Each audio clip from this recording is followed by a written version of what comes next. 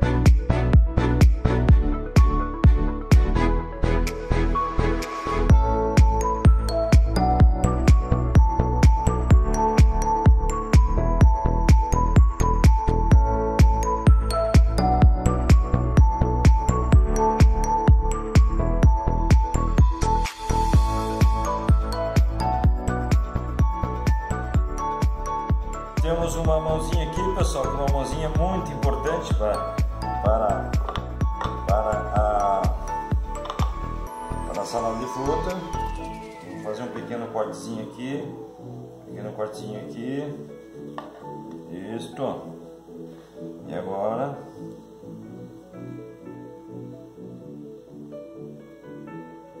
vamos descascar o bichinho.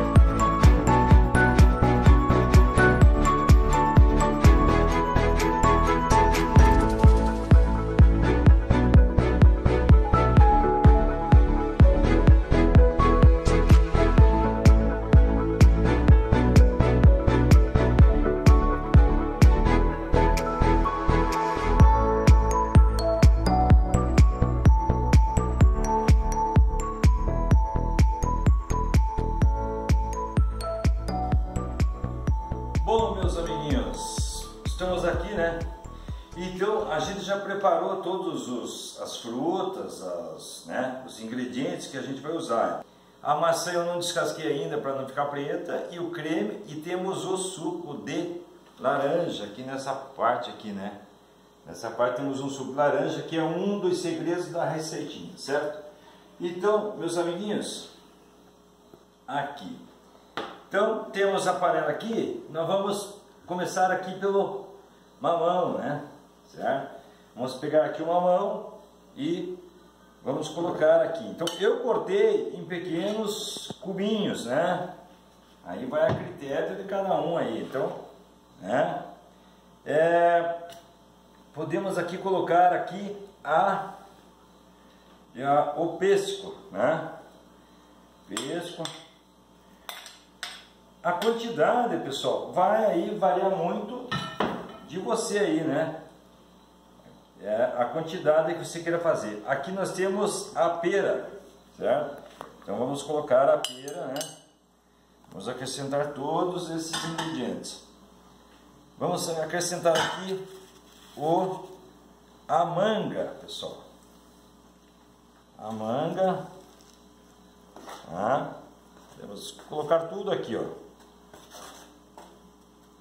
Também cortei ela em pequenos pedaços, né?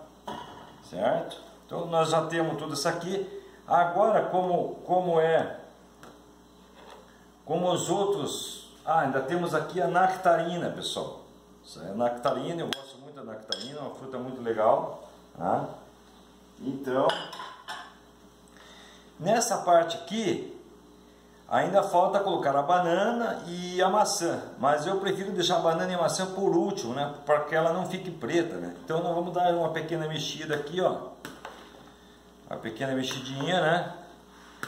Só para de maneira puxando do fundo para frente para que você não moa algumas das frutas, né, para que ela não vire uma pasta, né, certo? Bom, temos aí, ó, já estamos mexidos aqui, né? Agora nós vamos colocar aqui o a, creme de leite, certo pessoal? Creme de leite, né? Eu coloquei aqui uma certa quantidade de duas caixinhas certo? Para essa quantidade aqui de, de, de fruta, né? Então é mais ou menos calculado aí conforme a quantidade de fruta, né?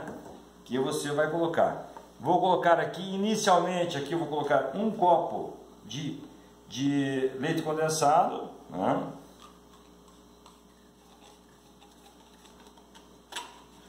Isso vai ficar muito bom.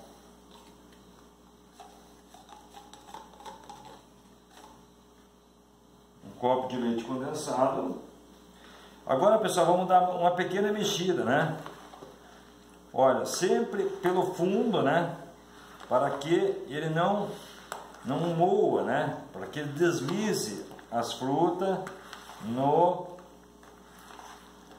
no, no líquido aí que a gente colocou aí, né? Sempre pega bem pelo fundo e vai mexendo. Ah, temos aqui uma salada de fruta deliciosa, pessoal. Salada de fruta é muito bom. Bom, demos a primeira mexida aqui, certo? Agora que nós demos a primeira mexida, pessoal, agora nós vamos acrescentar aqui o morango. Eu cortei aqui em pequenos pedaços, né? também vai pela quantidade aí que você é, e vamos acrescentar aqui junto com o morango vamos acrescentar aqui as nossas bananas né? Certo? Que agora nós já temos aqui eu vou cortar aqui em pequenas rodelinhas né? Eu deixo para cortar a banana por último pessoal para não não pegar ela não ficar preta né? A banana ela ela, ela preteia rapidamente, né? Banana é uma coisa que você pode escolher aí, ó, banana prata, banana caturra, né? Cada um, eu gosto muito da banana prata, né? Mas aí fica a critério de cada um, né? A espessura das roelinhas vai a seu gosto.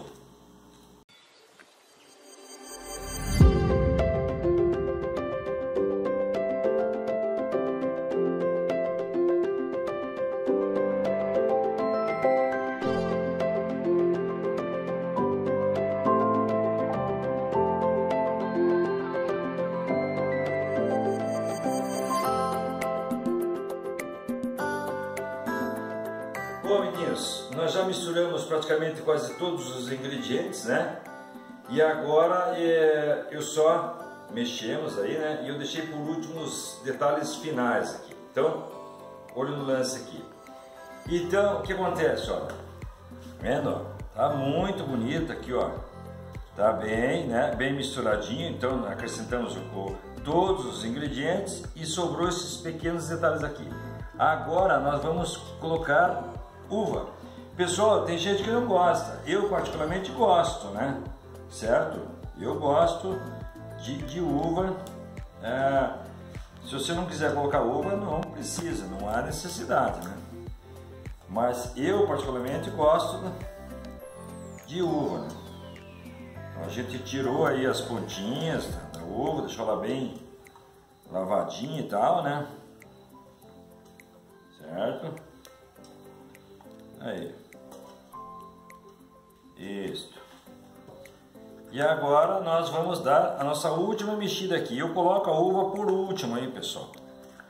É, a uva ela dá todo um detalhe. Aí você pode colocar aí, pode utilizar aí uva rosada, né? Eu gosto mais dessa branquinha, né? Olha como está bonito, como está bem cremosa nossa salada, né? certo?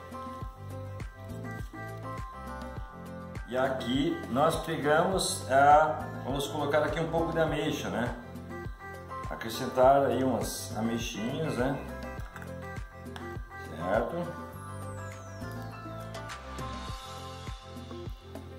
Então eu tenho um certo tanto de ameixa preta, né? A gente coloca um pouco aí para que misture na massa.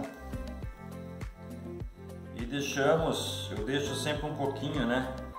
Um pouco para para fazer o detalhe final. Tá? Olha.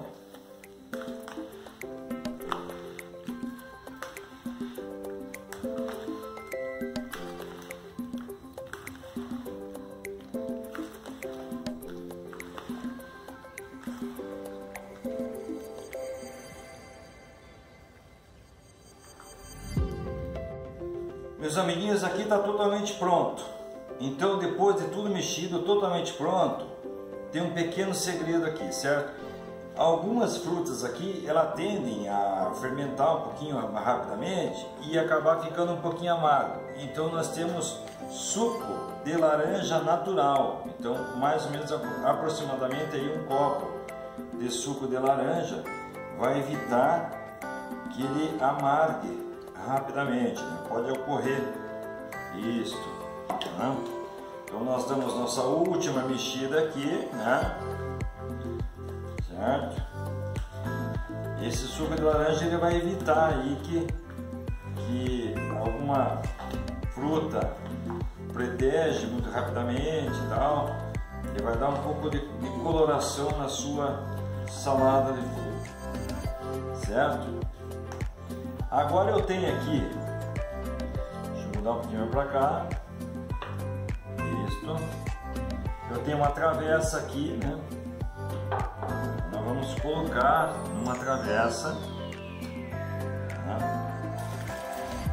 olha que, que lindo, muito lindo isso. Tá?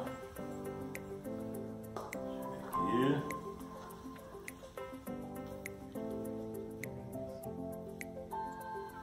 dar uma pequena arrumadinha aqui, né, pessoal? Isto.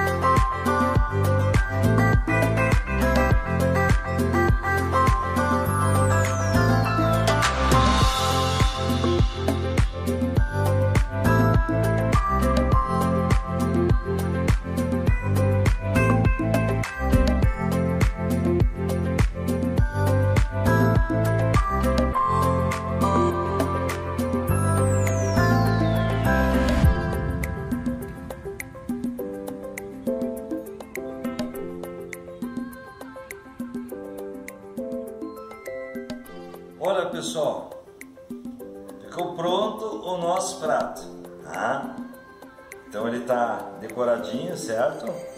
Tá? Isso aqui é a sobremesa do Fênix Porta Aberta. Agora nós vamos colocar na geladeira e deixar que ele é, congele aí durante umas é, em torno de duas horas mais ou menos, né? Para que ela fique bem geladinha. Quanto mais geladinha melhor, certo?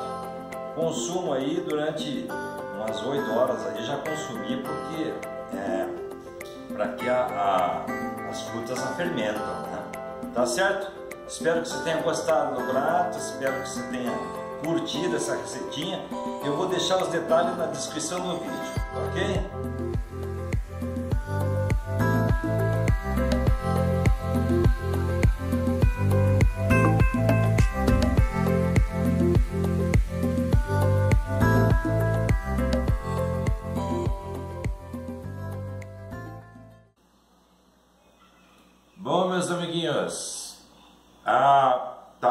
Geladinho, né? E eu vou tirar um pouquinho aqui que tá geladinho, né? Vamos ver como é que ficou aqui, ó. Já passou aí umas duas horas, né? Isto. Aqui. Vamos pegar um pouco. Ficou bem essa caldinha.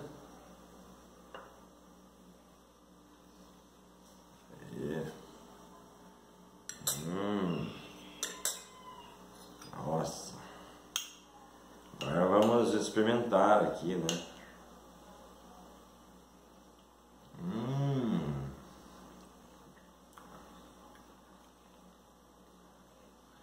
Gente, isso aqui é de comer de comer debaixo da mesa.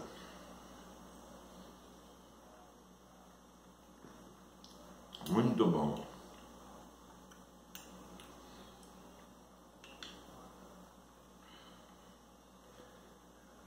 Aí a, variedade de frutas vai de cada um, né?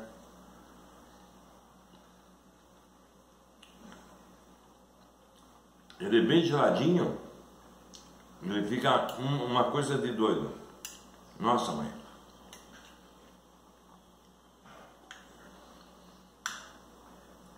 Pessoal, espero que vocês tenham gostado do vídeo.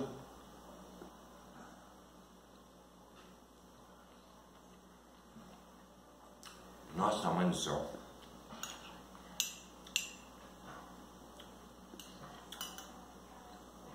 Ele geladinho, pessoal. Maravilha. Muito bom. Tá bom? Até o próximo vídeo, pessoal.